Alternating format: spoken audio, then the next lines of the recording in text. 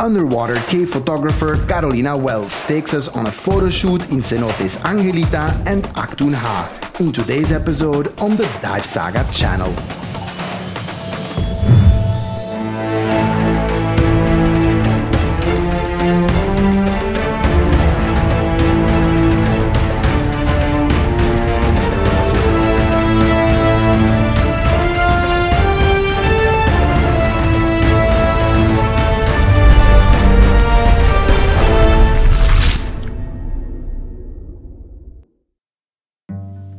If you've been watching the last few episodes, you may have noticed that I've been spending a good amount of time in the Mayan Riviera in Mexico. This area is known for its sprawling cave systems, also known as cenotes. I've been getting cave divers certified and also hosted a Dive Saga trip in this amazing area. You can find episodes about these diving adventures here on the Dive Saga channel. Today I'm meeting up with underwater photographer Carolina Wells and safety diver Damien for a photo shoot in this amazing environment. Carolina Wells over here in our episode today. Carolina is an underwater photographer, but you are specialized in cenote photography, right? What does that mean? Like, what is different about being a cenote photographer versus any other underwater photographer? So the main difference is that I work in the cavern and cave area.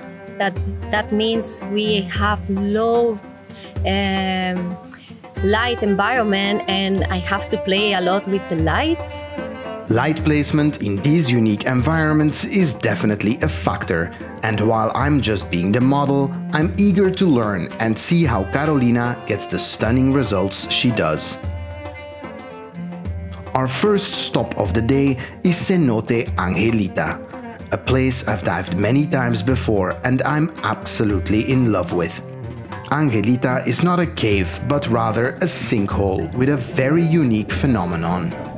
Fresh water fills the top 30 meters 100 feet of Cenote Angelita. But because most cenotes are connected to the ocean in one way or another, below the fresh water, the water is salty. As foliage from the overhead jungle canopy breaks off, falls into the sinkhole and decomposes, hydrogen sulfide gas is released. This gas sits between the salt and the fresh water like a giant cloud. A perfect mysterious place for a product photo shoot. Today, so I'm wearing the Scubapro Mark 19 G260 regulators, and our mission today is to do exactly that. It's a little bit of model, but like a little bit of brand. Yeah, so exactly. I guess we're gonna try to get some cool Scubapro regulator shots. Yeah, there's a lot of this uh, collaboration with brands, uh, with the divers, and yeah, it's what we are gonna do today. Like uh, showing the brand, but also show the diver and show the environment that it's very beautiful and very unique in the world. That the cenotes here. Yeah, let's go, huh? Unique is an understatement when referencing the mesmerizing environments Carolina operates in. When working as a product photographer in a place like this, it's key to not only let the product shine, but also maximize the potential of the surroundings.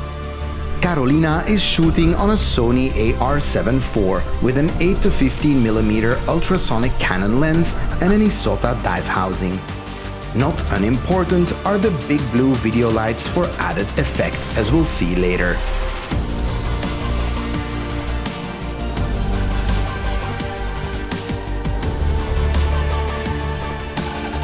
The small platform at Cenote Angelita provides access to the underworld.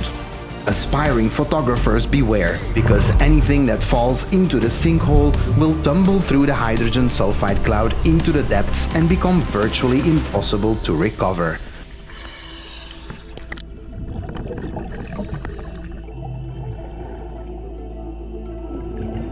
From here, the dive is basically a 30 meter 100 foot drop down to the sulfur cloud. Safety diver Damien, whom you can see in the background, makes sure the equipment looks optimal and keeps an eye on the model. In this case, that's me.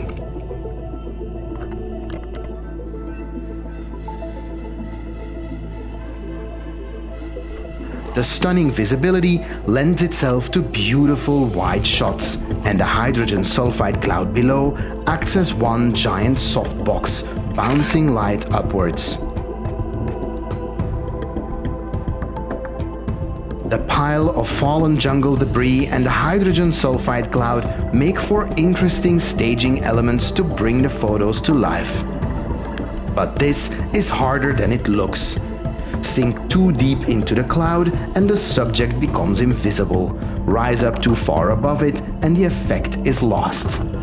And at this depth, there isn't very much time for trial and error the planning of the photo shoots it has to be like very calculated because of time and and yeah and position it it it's a lot of communication between the diver and the photographer and that's why the planning is so important a lot of communication is important, but when both the photographer and the model have thousands of lumens of video lights and dive lights shining in opposite directions and blinding each other, the planning better be solid. For one shot, safety diver Damien stages a large video light behind me. This creates a separation between the model and the background. It's not something for every shot, but a super cool effect for sure. Time is running low, so we stage one more shot at a shallower cavern passage to get some cave-like shots. After that, it's time to leave the darkness behind and level up. In the shallows, the sun rays piercing through the jungle foliage help create a magical light effect as they break through the cenote water. As a professional underwater photographer, Carolina knows that every second of the dive must be spent looking for additional photo opportunities to increase the yield of this shoot.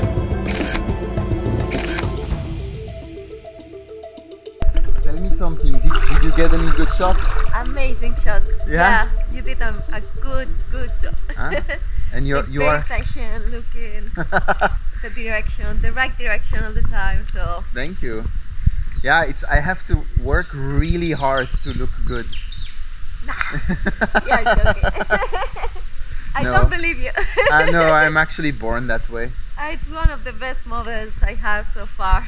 Like for first dive together, like communication, everything. Ah, wow, Very yeah. Yeah, with the bright lights, it's always tricky, yeah, to Yeah. like try to see behind. But it was nice, yeah. Thank you so much.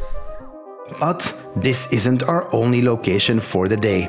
Angelita is super cool, but we still have something more cavernous on the menu. Now, Carolina, you are a professional underwater photographer. That means that your the majority of your income, maybe all of it, comes from this.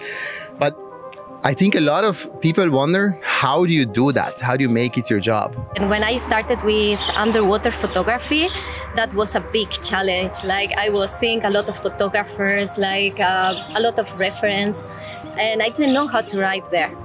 Um, but slowly, like I started to buy my first setup, and I started to take pictures, and people slowly got interested to be in the pictures. So mostly of my income it comes from cool divers that wants to have a nice memory from the dives and they book, me as a photographer uh, sometimes i also work with professional models underwater Like today.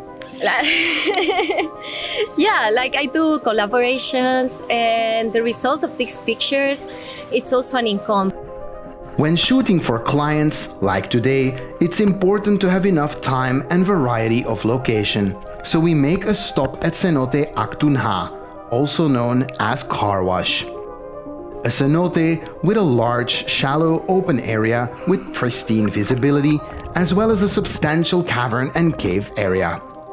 Even though the clear water and sunlight offer an excellent location in the open water, we are here for the cavern area.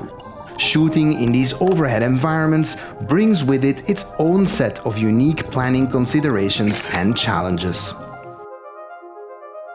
because we are in the cavern and the cave no so we are limited by time uh, consumption etc so that's that's a difficulty but also it make it very special for me like I like challenge. It's important to note that everyone involved on this shoot, including the photographer, is cave diving certified. Photography adds a level of potential distractions to any kind of dive. In cavern or cave diving specifically, being distracted can be potentially fatal.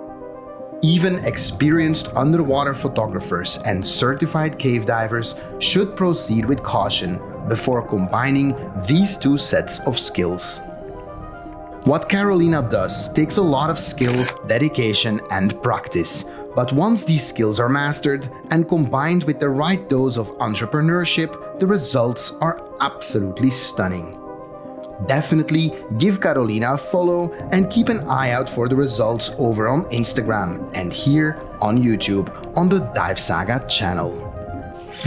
awesome, thank you. That's great. It's okay. And yeah, that's amazing. I I, don't know if I talk too much. I cut, yeah, but I will cut it. I will cut it completely. Let me.